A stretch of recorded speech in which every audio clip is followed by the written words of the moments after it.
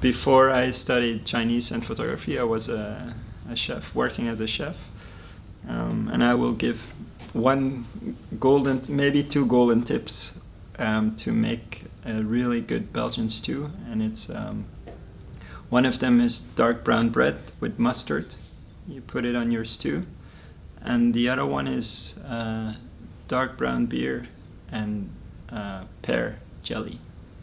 Put it in there and it will taste awesome.